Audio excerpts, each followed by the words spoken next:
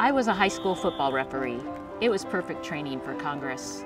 There's too much extreme partisan gridlock. We're the ones losing out. I'll bring my career in business focused on the bottom line to work across party lines and get results. Rebuild our economy, restore our middle class, and make sure millionaires pay their fair share.